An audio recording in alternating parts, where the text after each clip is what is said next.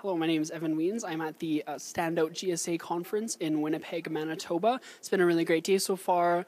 The room's filled with probably a thousand students. It's just a really great energy in there. We had a great um, opening remarks this morning, uh, and then we uh, went into into a session, which was really enjoyable. It was a really great experience. Um, lots of opportunities to be educated on things that I have actually never been educated on before. So it was um, really great experience, and I think this day is really important for the um, hundreds of other students here that uh, could be educated when they possibly don't have the resources to um, be educated. And I think it's important that it shows the significance of GSAs and how they truly do save lives and how it's so important to um, become active in a GSA if that's what you choose to do. So um, it's been a really awesome day so far. I can't wait for the rest of it. And yeah, I'm excited.